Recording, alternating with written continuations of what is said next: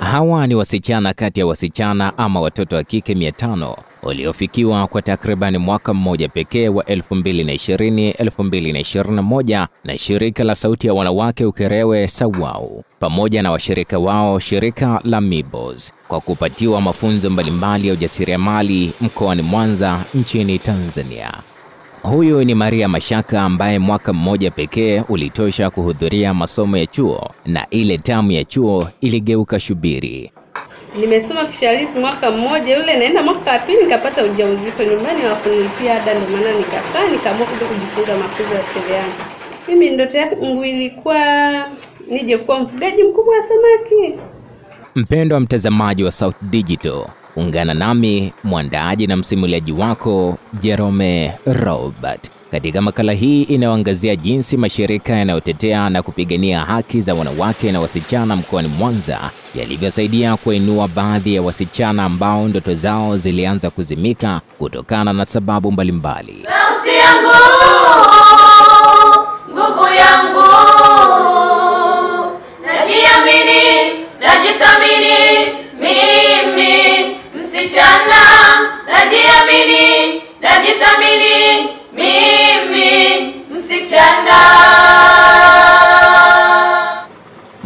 Mashaka mwenye umri wa miaka ishirini na mitatu sasa, ni miaka miwili tangu amejiunga na kituo hiki cha Sauti ya Wanawake Ukerewe SAWAU kilichopo jijini Mwanza. Yeye ni miongoni mwa mabinti zaidi ya kumi na watano wanaopata mafunzo mbalimbali katika kituo hiki. Mimi nimechukua miezi sita kujifunza mpaka kujua, na kilichonihamasisha ni mabinti wenzangu walikuwa wanakuja hapa wanajifunza, hatimaye wakatoka na ujuzi, na mimi ndio kilichonifanya nikaja hapa. Kizazi cha kidijitali, kizazi chetu.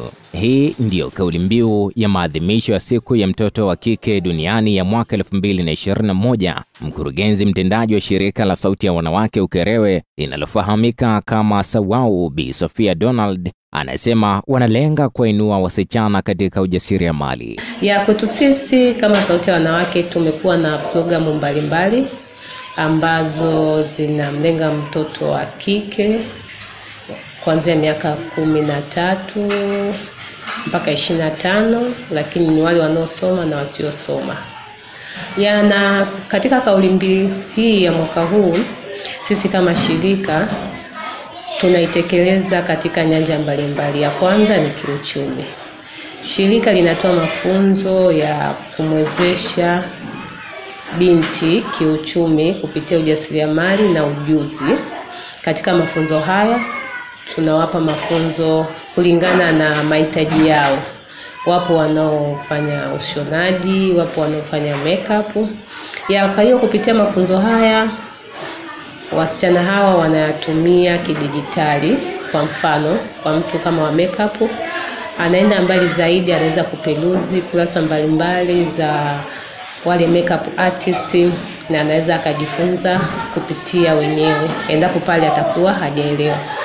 Lakini vile vile kupitia haya hayo mafunzo ya ujasiriamali tunaowapa, kuna baadhi ya vikundi wamehamasika na wanatunza fedha zao kupitia kidijitali, hasa hasa njia ya M-Kopa ambayo ni njia rahisi na nyepesi iliyoanzishwa na Vodacom. Kwa hiyo wanatunza fedha zao kupitia huko. Mpango kazi wa kitaifa wa kukomesha ukatili dhidi ya wanawake na watoto nchini Tanzania wa miaka mitano 2017-2018 hadi 2021-2022 unaeleza namna ya kujenga mazingira mazuri ya mtoto aweze kufikia malengo yake. Katika mpango huo wa kutekeleza ajenda za malengo ya maendeleo endelevu SDGs kufikia mwaka 2030 na ajenda ya mwaka 2063 ya Kamisheni ya Umoja wa Afrika. Ushirika wa kimataifa wa kutokomeza ukatili dhidi ya watoto ulizinduliwa kusaidia kuwa na Afrika yenye maono ya kumwezesha mtoto kukua na kuishi uhuru dhidi ya ukatili.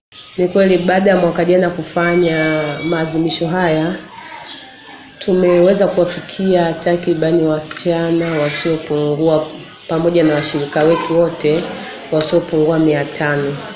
Kwa hiyo hawa wasichana ni wako mashuleni lakini na out of school. Kwa hiyo kule kupitia mashule tumeweza kuwafikia wengi, lakini na walioko nje ya shule tumeweza kuwafikia katika masuala ya ujasiriamali ya, na wameweza kuanzisha baadhi ya vikundi. Kuna wengine wanaoenda wanaendelea mbele, kuna wengine wamepata mafunzo ya makeup, namna ya kutengeneza kucha ya, yani mafunzo yale mbalimbali ya ujasiriamali na ujuzi wamepata. Ni zaidi ya mashirika ama taasisi 30 ambazo zimekita nanga mkoani Mwanza nchini Tanzania zikiendesha huduma zake za kutetea na kupigania haki za watoto wa kike, wasichana na wanawake. Sisi kama asasi ya Fadhili Teens Tanzania tunapokuwa na hawa wasichana, tunakuwa na vipindi tofauti tofauti, tunakaa nao, tuna tunamsikiliza msichana, yeye anataka nini, kile ambacho anakitaka, tunatafuta wataalamu. Kama anataka kwa mfano, wale walitaka kujifunza labda kutengeneza maziwa ya yogurt, tukatafuta wataalamu wakajifunza, waliopenda wanaendelea na biashara ya yogurt. Mwingine akisema mimi natamani tu kufanya biashara labda kuuza duka, kwa hiyo mnabidi mtafutie mtaalamu wa masuala ya, ya biashara ajue namna ya kuimanage biashara yake, ajue masuala ya customer care ili aweze kupata faida katika biashara zake. Mwingine akisema anataka kutengeneza kitu fulani. Kwa hiyo lazima ujue kwanza msichana anataka nini, usimpeleke kwa kile ambacho yeye hajakitaka. Haja, kwa hiyo kwa, na, kwa namna hiyo, kwa hiyo tukajikuta kwamba tunatafuta wataalamu kulingana na uhitaji wa msichana. Maria Mashaka anasema kuwa angalau sasa kazi yake hiyo inarejesha matumaini kwake na mwanaye. Nyumbani nakaa kwa amani, amna maneno maneno, kwa sababu na mimi sasa hivi kuomba hela nyumbani siombi kwa kweli, kwa sababu hapa ninapokaa naweza nikapata mteja nikapata hela yangu nikakidhi mahitaji yangu na ya mwanangu. Si Maria pekee. Jennifer Emmanuel mwenye ndoto za kuja kuwa mwanahabari mashuhuri kwa takriban mwaka mmoja sasa baada ya kuhitimu elimu yake sekondari kutokana na wazazi wake kutokuwa na kipato cha kutosha kuendelea na elimu ya chuo, aliamua kujiunga na shirika hili na sasa anafanya shughuli ya urembaji. Shule ya makeup nimejifunzia hapa Sauti ya Wanawake Ukerewe. Tulipata fursa kwa, tulipata mwalimu wa kutufundisha makeup, kutengeneza mawiving, hairstyle. Nimejifunzia hapa kwenye ushirika wangu. Haikunichukua muda, tulitumia wiki mbili tu kujifundisha mambo ya makeup, na kuna ugumu wake, labda unafundishwa wanja wanja mgumu kuuchora, lakini labda unafundishwa mada hujamuelewa, ya vitu kama hivyo. Kwa mujibu wa shirika la Umoja wa Mataifa linalohudumia watoto UNICEF, wasichana milioni 131 duniani wanaopaswa kusoma hawasomi shule. Aidha, msichana mmoja kati ya watatu ikilinganishwa na mvulana mmoja kati ya sita wenye umri kuanzia miaka 15 hadi 29 hawana kazi na wala hawakupata masomo, huku wasichana milioni 15 wa umri wa miaka 15 hadi 19 wanalazimishwa kuwa na mahusiano ya kingono ama kulazimishwa ndoa za utotoni. Kupitia mradi huu tayari tuna wasichana kumi ambao hivi tunavyoongea wana uwezo wa kupata vipato kujikimu mahitaji yao ya kila siku wao wenyewe pasipo kutegemea mzazi, pasipo kutegemea mtu yoyote, kwa maana ya kwamba tayari wana biashara.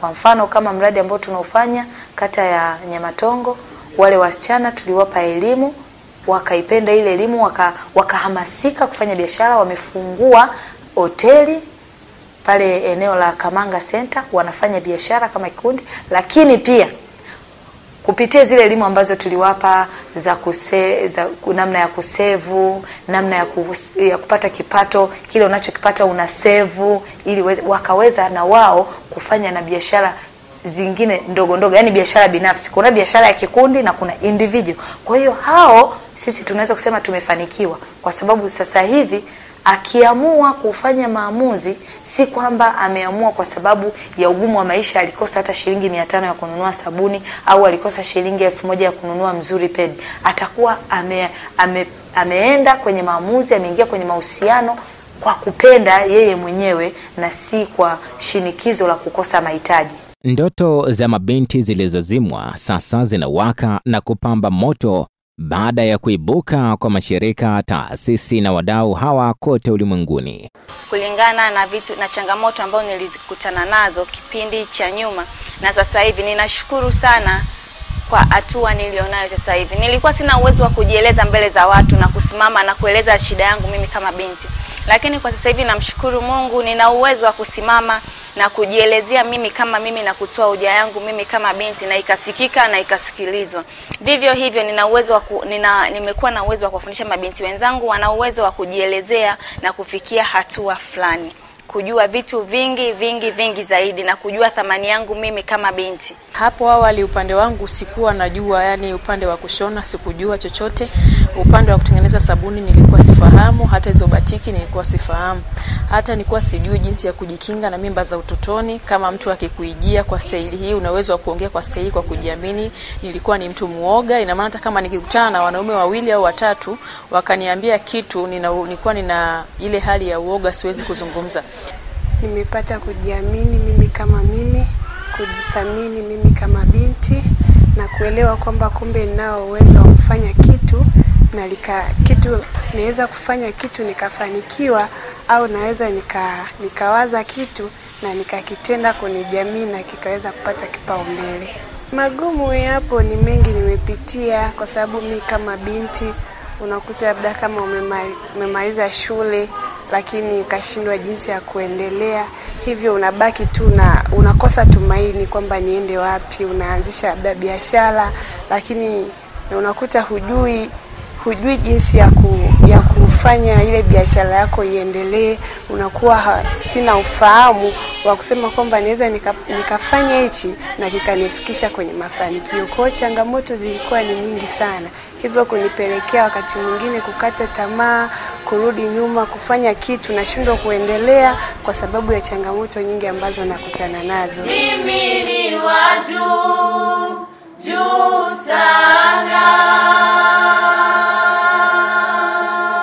Pamoja na kuendelea kuwasaidia kupata mafunzo haya, Bi Sofia anasema zipo hatua ambazo wanajivunia baada ya kupata ushindi wakati wakipinga sheria ya mtoto inayopingana na sheria ya ndoa iliyoonekana kama kivuli kwa baadhi ya wazazi na walezi. ya mafanikio yapo. Kwa mfano, kwa hiyo sheria ya ndoa, kilichopo sasa hivi ni, kue, ni, ku- kuendelea kufanya advocacy katika upande wa bunge, kwa sababu kama tunavyojua bunge ndio linalotunga sheria. Kwa hiyo kumekuwepo na sesheni mbalimbali kati ya watetezi wa haki za wasichana na wabunge wenyewe kwa ajili ya kuweza ku, kuifanyia mchakato wa haraka hiyo sheria iweze kubadilishwa. Kwa hiyo mwaka huu kumekuwepo na hizo session, lakini tunategemea bado hizo session zinaendelea na mchakato bado unaendelea. Kwa hiyo kufikia hapo kwamba na kupata ushindi kutoka mahakamani tunaona ni fanikio kubwa. Tanzania pamoja na mataifa mengine kama Sweden, Mexico na Indonesia imekubali kuwa nchi ya mfano Afrika katika mpango wa kimataifa wa kumaliza ukatili dhidi ya watoto kutokana na ukatili kuwa janga la dunia. Tanzania ni nchi ya kwanza Afrika kuonyesha juhudi hizo na kuchaguliwa kwa Tanzania kulitokana na jinsi ilivyochukua hatua ya kufanya utafiti kuhusu ukatili dhidi ya watoto mwaka 2009. Jamii, wazazi, kila mmoja akifanya sehemu yake. Maendeleo ya msichana, maendeleo ya mtoto wa kike ni jukumu la kila mmoja. Kwa tuungane wote kwa pamoja, kila mtu katika sehemu yake aweze kuhakikisha huyu mtoto wa kike ana, ana, anafikia malengo, anafikia ndoto zake. Nimesema swala la wazazi kwa sababu sasa hivi wazazi wengi wamekuwa wanakuwa bize na shughuli za kiuchumi, kwa hiyo ule muda wa kuzungumza na, na, na mabinti ama watoto wa kike una, unakuwa unapungua, wengine hawazungumzi nao kabisa. Kwa hiyo hii inaleta pia changamoto. Sio kwamba kumepungua, sema hivyo ni watu kwamba jamii imefahamu na hivyo vitendo sasa hivi vinalipotiwa, lakini mimba katika umri mdogo. Nafikiri mkoa wa Mwanza sasa unaongoza na masuala ya HIV kwa wasichana, wanasema ukiondoa Njombe, Iringa, Mbeya, Mwanza inakuja kama ya nne. Kwa hiyo bado mapambano ni makubwa sana. Mpendwa mtazamaji, mabinti ambao wamekatisha ndoto zao kwa sababu mbalimbali kama Maria Mashaka, miongoni mwao yaweza kuwa ni watoto wa wajomba zetu, kaka zetu, shangazi zetu, dada zetu ama majirani zetu. Kutimiza ndoto zao inaweza kubadili mtazamo na maendeleo ya jamii zetu. Hivyo mimi na wewe kupitia taaluma ama ujuzi wetu tuwe kama shirika la Sauti ya Wanawake Ukerewe na mashirika ama taasisi zingine zinazowashika mkono na kuwapigania kimaendeleo na katika haki pia.